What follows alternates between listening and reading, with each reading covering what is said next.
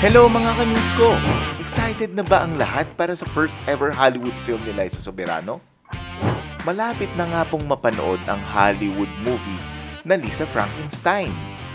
Ito ang kauna-unahang pelikula ni Liza Soberano sa Hollywood na ipapalabas sa mga sinihan sa Pilipinas sa February 7, 2024. Isa itong horror comedy na pinagbibidahan ni Catherine Newton na napanood sa pelikulang Ant-Man and the Wasp bilang Cassie Lang.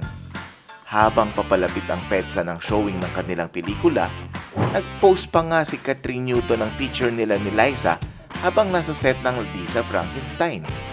Nakaupo ang dalawa sa mga upuan kung saan nakalagay ang pamagat ng pelikula at kani-kanilang mga pangalan.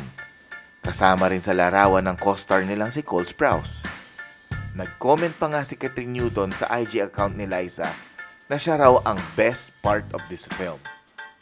Ecstatic daw ang naramdaman ng aktres nang malaman niya na nakuha siya bilang si Taffy, ang stepsister ng main character na si Lisa Frankenstein. Sabi ni Liza, ang direktor ng pelikula na si Zelda Williams mismo ang nag-udyok sa kanya na mag-audition para sa proyekto.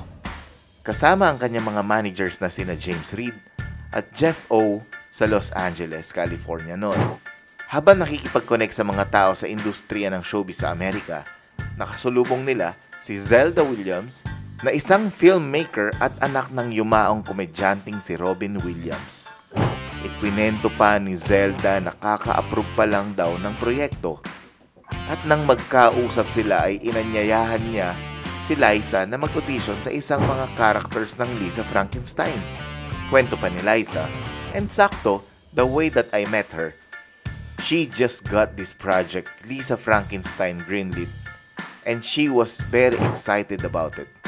She was talking about it during our meeting and she said, Why don't you audition for one of our characters? I'm like, Sure, pag-isipan ko.